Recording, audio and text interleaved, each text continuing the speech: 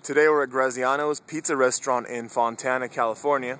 And I'm gonna team up today with a former student, his name is Chaz Vasquez. And then today we're gonna see how much pizza can two men eat.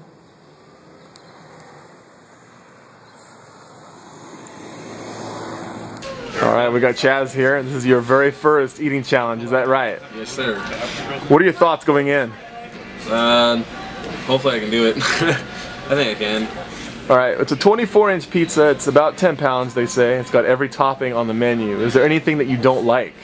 Uh, mushrooms, but I can eat them on pizza. I mean, they don't they don't taste the same when you eat them on, on pizza. All right. How much do you think is the most you've ever eaten before? When I was bigger, I, I used to eat a lot.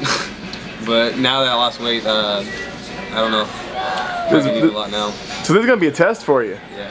It's pretty much gonna be a test, but as a team, I'm pretty sure we can take this. Yeah. And I'm gonna go and say this is probably the first time that a former student and teacher have ever teamed up on an eating challenge. Uh, so it's pretty exciting.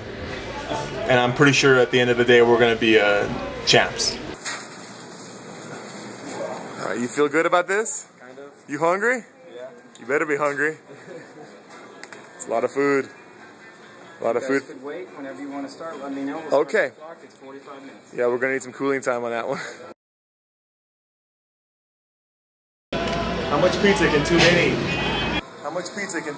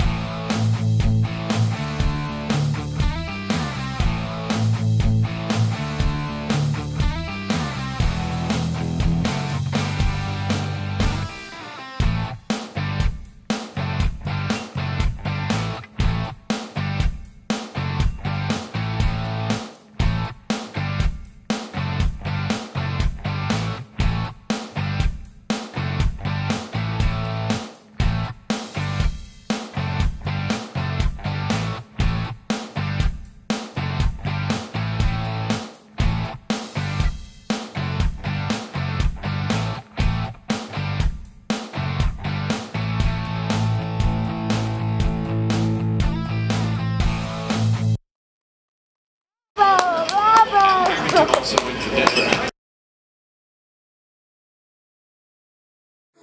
Okay, we managed to complete the pizza in 40 minutes, so we're the second team at the Fontana location to tame the beast, or tame the monster.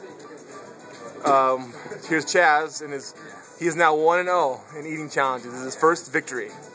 Uh, what are your thoughts? What do you think of pizza now? Don't want pizza no more ever. Never? Never. Are you going to come back to eating challenges?